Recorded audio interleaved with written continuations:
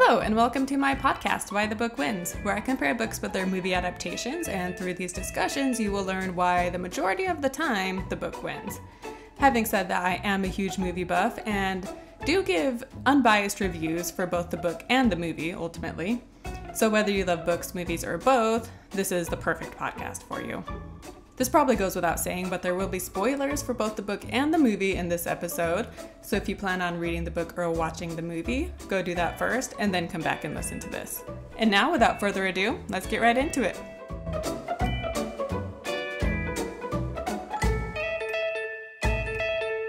Hello, and welcome back to Why the Book Wins.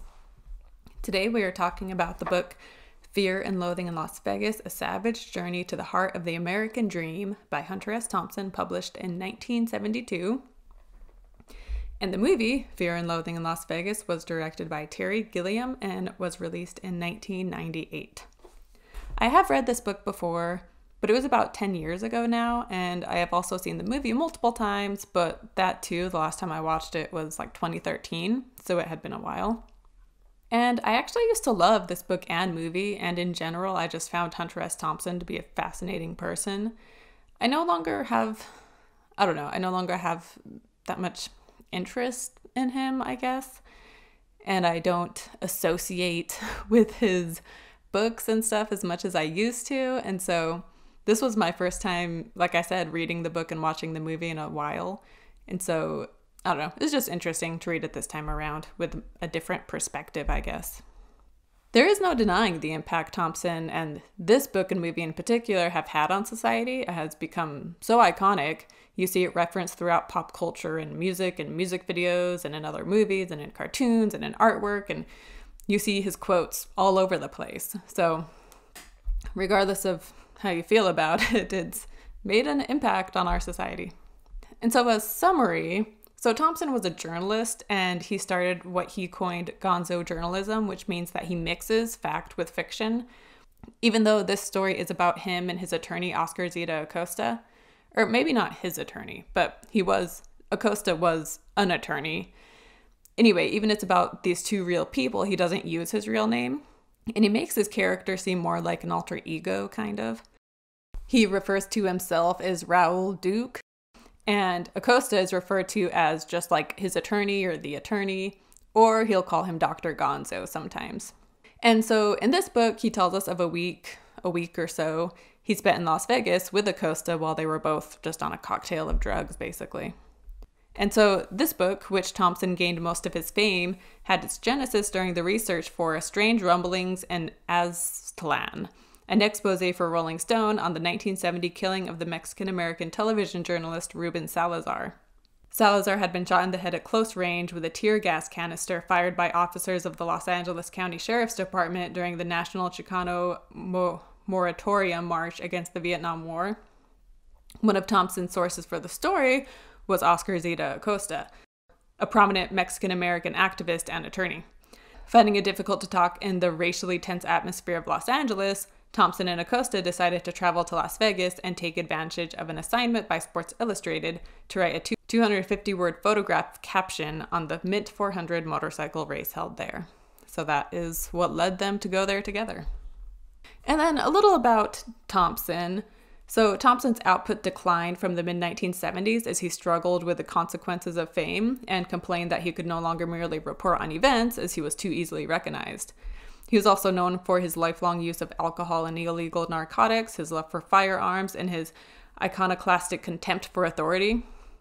He often remarked, I hate to advocate drugs, alcohol, violence, or insanity to anyone, but they have always worked for me. And a lot of people, this is a quote you'll see around a lot. And I don't know, we'll get to it. Like I'm about to talk about it right here. But uh, he ended up committing suicide. And there's just a lot of sad things about his life. And so when people identify with him in a certain way or when they like have quotes like that as a, you know, a motto for their life or something. I don't know. I think before you do that, you should look more into the person and, you know, that was his, you know, he may have said that, but I don't know. He says they've always worked for me, but clearly it didn't work because I don't know, his life came to a sad end. But anyway, Thompson died of suicide at the age of 67 following a series of health problems. In accordance with his wishes, his ashes were fired out of a cannon in a ceremony funded by his friend Johnny Depp and was attended by friends including then Senator John Kerry and Jack Nicholson. Hari Kunzru wrote, the true voice of Thompson is revealed to be that of an American moralist, one who often makes himself ugly to expose the ugliness he sees around him. Years of alcohol and cocaine abuse contributed to his problem with depression. Thompson's inner circle told the press that he had been depressed and always found February a gloomy month, with football season over and the harsh Colorado winter weather. He was also upset over his advancing age and chronic medical problems, including a hip replacement, and he would frequently mutter, This kid is getting old. Rolling Stone published what Douglas Brinkley described as a suicide note written by Thompson to his wife titled Football Season is Over. It read, No more games, no more bombs, no more walking, no more fun, no more swimming. 67, that is 17 years past 50. 17 more than I needed or wanted. Boring. I am always bitchy. No fun for anybody. 67. You are getting greedy. Act your age. Relax. This won't hurt. And then Thompson's collaborator and friend Ralph Steadman wrote, He told me 25 years ago that he would feel trapped if he didn't know he could commit suicide at any moment. I don't know if that's brave or stupid or what, but it was inevitable. I think the truth of what rings through all of his writing is that he meant what he said. If that is entertainment to you, well, that's okay. If you think that it enlightened you, well, that's even better. And so, onto the book and my thoughts about it. So, one of the reasons I liked this book when I was younger, like my late teens, early 20s, was in part just because it was weird. and I guess I've always been kind of drawn to the weird stuff. Then, like, I myself eventually started getting into some light drugs, nothing serious. And then I liked the movie even more and book because it was about drugs. Reading it now, honestly, I got bored. it is a book with no plot when you get down to it both Thompson and his attorney are annoying, not to mention just sexist, racist, and in general selfish and inconsiderate. Thompson, I mean, I guess he did have a unique writing style and he's able to capture the absurdity of what goes on and what drugs make you feel. He also contemplates contemplates the counterculture of the 60s and the way it failed to do what it set out to achieve. The book also has the subplot of him looking for the American dream, and there's a chapter where it's just a transcription of a recording between him, his attorney, and a waitress, directing them to what they think is the American dream. And that whole chapter just seemed kind of pointless, though I suppose it's supposed to make a point about how Americans don't even know what this American dream is. But nonetheless, this whole part of the book, I don't know, it was just unnecessary and kind of boring. In the book, he also like references a lot of people who were well known at the time. And this is 1970 or 1971. And so now, like 50 years later, like most of these people, I don't even know who they are. And so when he uses that to describe someone, or like he's referencing this other person, like so often, I was like, okay, well, I have no idea what that means because I don't know who that person is. And this was originally meant to be for a magazine. And so it makes sense. Like when you're writing a book, you shouldn't do stuff like that. Like you shouldn't describe her eyes were like Zooey Deschanel because even though people reading it now will know what you mean, but if your book is being read 50 years from now, people might not know who Zooey Deschanel is and then that the reference is also just lazy too. Like describe her eyes, don't just say they look like someone else's. And so because this is a magazine article, it makes more sense that he just references these people because maybe he thought it was just going to be a magazine article and not a book that people would read decades later. But yeah, so that's another complaint I had. Anyway, I can't talk about this book and not bring up the illustrator illustrator Ralph Steadman. His artwork has a messy yet detailed look about it, and just like the book, his artwork isn't for everybody. I love his work because it's just so out there and it's distorted. It also just is a very fitting look for the type of thing that Thompson writes back in the day, I even had a t shirt with his drawing of Thompson from this book. And then at one point, I had a poster from like the cover with him, with Thompson and Gonzo in the car. Plus, when I was living in student housing in college, we could paint murals on the walls. And I got a permission to paint the Ralph Steadman cartoon of Hunter S. Thompson. So I was pretty into that. So, on to the movie. After the release of this book, at various times, multiple directors tried to get this movie off the ground. However, it just never worked out until, until Terry Gilliam came along. He adapted the script as well as directed the movie. And Gilliam said, I want it to be one of the greatest movies of all time, as well as one of the most hated movies of all time.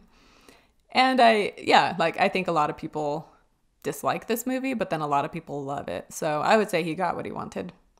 But before we get into the main actors, there are so many cameos I want to mention. First off, we have Penn Jillette from the famous Las Vegas magic act Penn and Teller, which I had never noticed that before, so watching it this time was kind of funny to see him.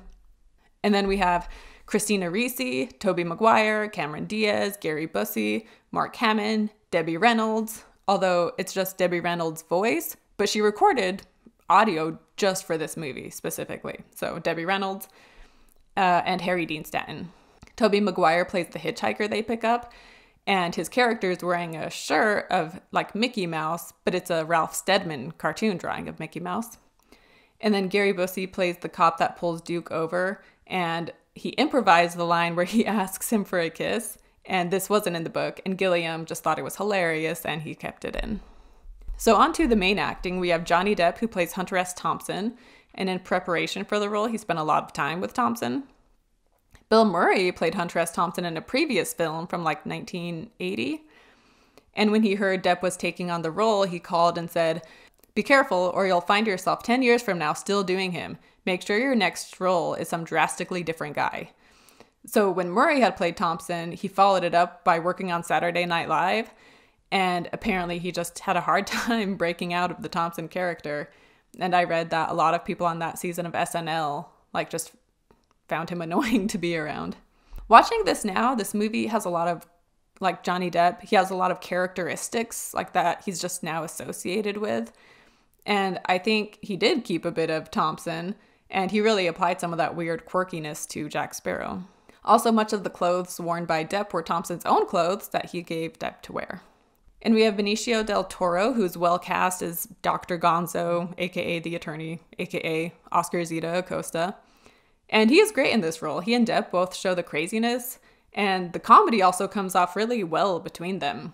The serious scenes are equally well done, and the movie really rests on their shoulders, though there are a lot of side characters who are all excellent. But Del Toro and Depp, like, it's they're the main two, and they're fantastic. And on a note about the real Acosta, he himself wrote two books of his own Autobiography of a Brown Buffalo and Revolt of the Cockroach People. I think those are the only two. Um, and as of recording this, I'm halfway through Autobiography of a Brown Buffalo, and I like it because you see a whole new side of Acosta. In Fear and Loathing, we don't get to, like, we don't really get a feel for who he is as a person. And also, some details from Fear and Loathing just make more sense too after reading about Acosta. For example, Thompson writes about how Acosta is often vomiting. And in his own book, we learned that he has struggled with ulcers like his whole adult life, and it causes major stomach issues and frequent vomiting. Because when I read the book and saw the movie, like, I just thought it was from the drugs or something. But turns out it was like a chronic problem he had his whole life, whole adult life. He also talks about the need to shower every morning, no matter what. And so that gives a bit more context as to why he felt the need to stock up on soap while in Las Vegas.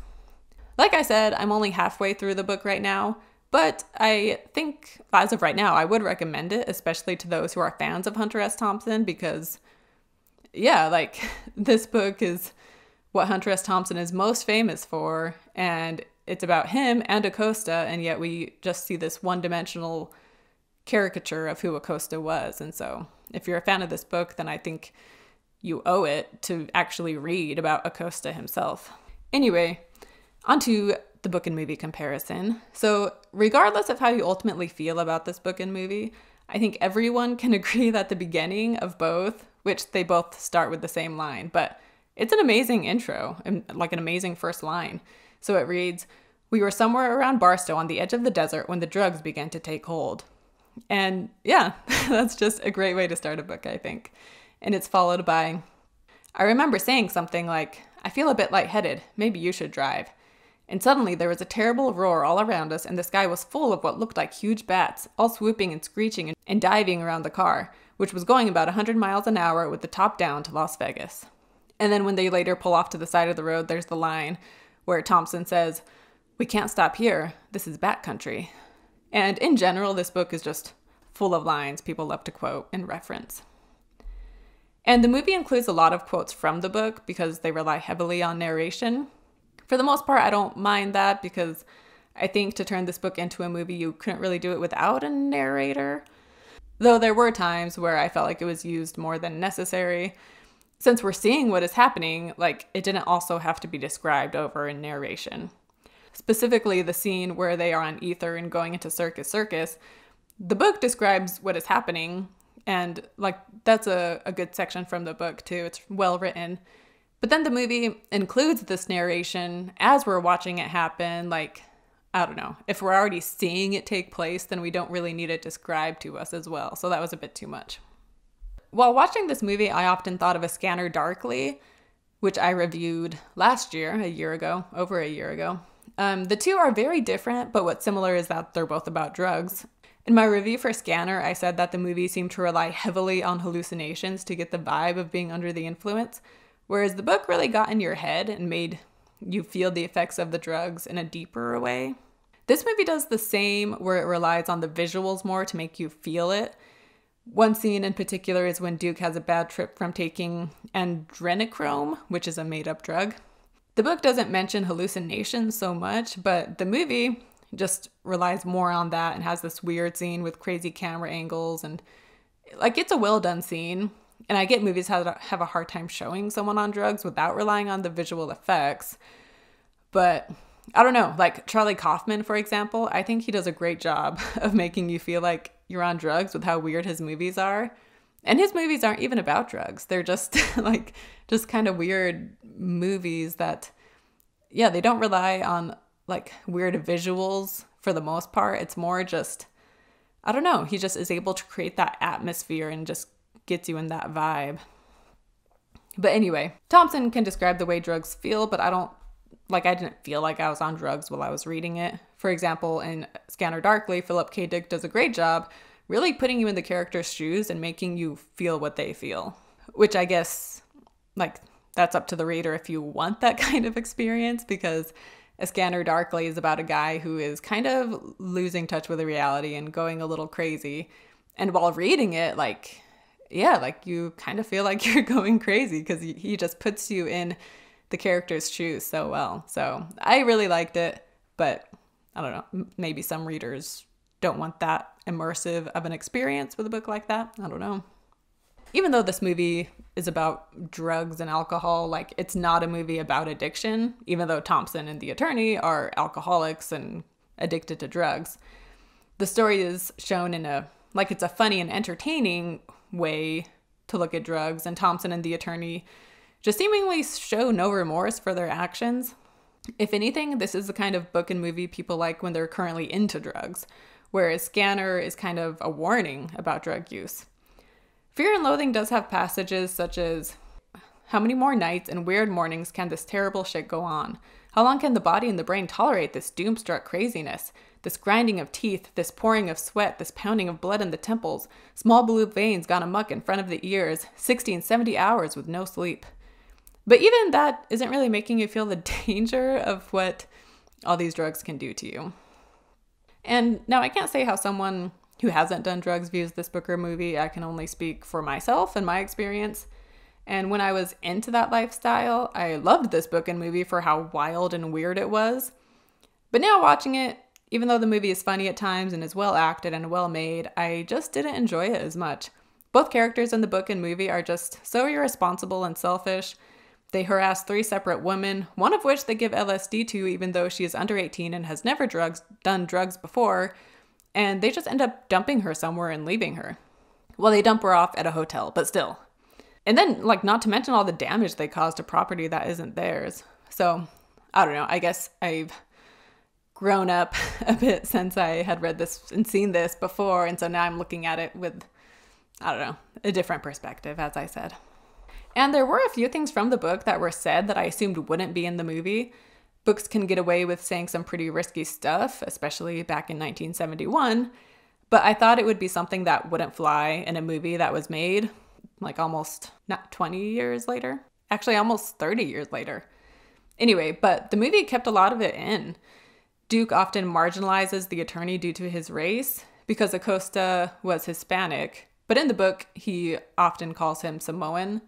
But anyway, he'll say, he'll say things like despite his racial handicap, like whatever so and so. And just a lot of things like that. And you could argue that, you know, like Thompson wasn't serious and it was just all in good fun because he and Acosta were friends, so he can say stuff like that and it's fine. But too often, white men make offensive jokes all in good fun, when truth be told, the person who is the brunt of the joke doesn't like it. They just put up with it because it's the easier thing to do. And back in the 60s and 70s, people got away with those racial remarks more often. And those racist lines were kept in the movie, and that kind of surprised me. He also has a line where he is talking about using the teenage girl to make money. In both, he isn't saying it seriously, but as a way to get the attorney to get rid of her. But still, it seemed I don't know, pretty taboo, I guess, but the movie still included it. So the movie talks about the American dream aspect of the story, but it doesn't spend as much time on it as the book does, thankfully. The book talks about how Circus Circus is the main nerve of the American dream, and after dropping his attorney off at the airport the last time, he goes back there and he dwells on it more and yeah, like once he drops the attorney off the second time, well, once the attorney leaves for the second time, the book it just really started to drag at that point. And so when he talks about going back to the circus circus and whatever, it's just like, ugh, just wrap this up already. In the movie, we have the scene where they are at, I think it's called the Bazooka Circus in the movie, and it's because the real Circus Circus did not want to be associated with this, so they changed the name for the movie. But anyway, they have the line where they're there in the like the middle of the movie, and the attorney is getting the fear, and it's because they are in the main nerve of the American dream, and so he's getting the fear. And even though the movie was more entertaining in some ways, even here I started to get a bit bored near the end. And again, like once the attorney was dropped off and it's just kind of following the last bit of what Hunter S. Thompson is doing, it's uh, it drags. Not as bad as the book, but it still started to drag a bit near the end. Also, the endings are a, a bit different. Like in the end of the book, he gets on a plane and in the end he's in the Colorado airport and that's just how it ends. Whereas in the movie, it ends with him driving his car, we assume, back to LA. Another change from book to movie is the scene in the movie when he drops off his attorney at the airport at the end. And the crazy drive to the airport is the same in both book and movie. However, the movie adds the narration of Thompson saying, There he goes, one of God's own prototypes, some kind of high powered mutant, never ever, never even considered for mass production. Too weird to live, too rare to die. And this quote was not in the book, but is actually from the foreword written by Thompson for Acosta's own book titled Autobiography of a Brown Buffalo, which I mentioned. And at the time the foreword was written, Acosta had gone missing and he was assumed dead. And so that was in 1974 that he went missing. He went down to South America, I believe, to do something with his attorney stuff. Um, yeah, and then he went missing and they assume he died. Anyway, in the past, like I said, I never looked into Acosta. This time around, I found it really interesting to learn more about him. And yeah, it just helped flesh him out more because based on Fear and Loathing, you just get this crazy look into who he was. And he's definitely not portrayed as a good person. Yeah, anyway. His books are highly regarded, though, even though they're not nearly well enough known. He was a lawyer in the Bay Area and was a civil rights activist.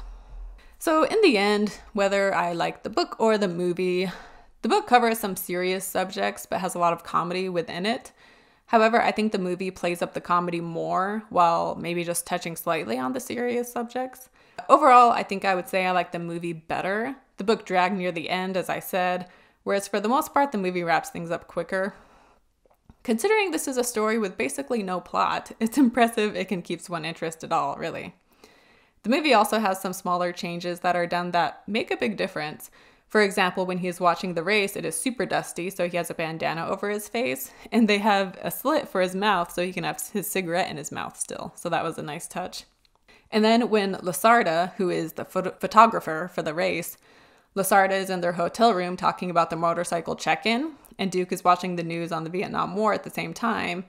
And so, because he's on drugs, he starts to mix the two together and he hallucinates that Lacerda is a military man listing off these motorcycles as if they are war machines or something. And that was an entertaining scene. And Lacerda, and Lacerda is played by Craig Bierko, who has been in different things, but what I know him from is the scary movie comedies. Uh, so he plays Lacerda in his role. He's really good in his role.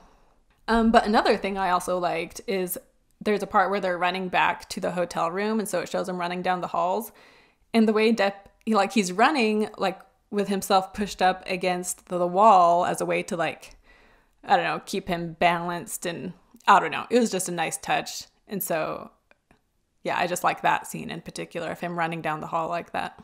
So, like I said, I appreciate the imprint Hunter S. Thompson has had on society and the way this movie has become so iconic. However, I'm yeah, I'm just not a huge fan of it anymore. I also think it's dangerous, like I also said earlier, to idolize someone like Thompson thinking you want to live the way he lived because he wasn't a happy person overall and he ended up committing suicide. Not saying someone who commits suicide can't be looked up to, but I don't know. You shouldn't idolize the way they live because the way they lived yeah, I don't know. he wasn't happy and he resorted to drugs and alcohol as a way to like fill something inside of him, but ultimately that just kind of adds to depression and makes it worse. And he also, I don't know, he also wasn't he he had his faults. So I'll just say that. Like he was sexist and racist, although I suppose one could say he was just a product of his environment considering back then most men were sexist and racist, but I don't know. It's fine to admire what he did in the world of writing, but I think it's important to see the whole picture of who he was. And I guess I'm saying this because I know for myself, 10 years ago, I kind of idolized him in a way. Now looking back, I'm like, man, like, yeah, I don't know. I wasn't taking the full picture in, I guess, basically. So that's one of the reasons why I have mixed feeling towards this now. Maybe if I always felt neutral about it, then I would like it more but I'm looking at it through the eyes of someone who used to really identify with it in a certain way. And now looking back, I'm just like, man, like, I don't know. It's not the best thing to identify with, I guess. But anyway, I guess that wraps it up for Fear and Loathing in Las Vegas. Let me know your thoughts on the book and movie. And join me next week for a very exciting one. I'm talking about the book Wiseguy, which is the basis for the movie Goodfellas, directed by Martin Scorsese. Tune in for that one next week, and I will see you next time. And also, don't forget to head over to my YouTube channel and subscribe, youtube.com slash c slash why the book wins. Or you can also find it through my blog, whythebookwins.com, and I link to my YouTube channel. But anyway, thanks so much for listening to this and for yeah, supporting my podcast just by listening. I really appreciate it. And I'll see you next time. Bye. Thanks again for listening. If you want to find me on other platforms, you can check out my Facebook, so facebook.com slash why the book wins, or my Instagram, which is all one word, why the book wins, or you can go to my website, whythebookwins.com. If you have any comments, questions, or suggestions, you can reach out to me on any of those.